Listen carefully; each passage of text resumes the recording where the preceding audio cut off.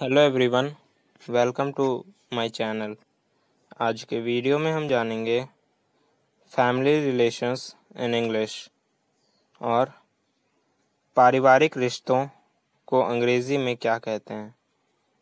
तो शुरू करते हैं।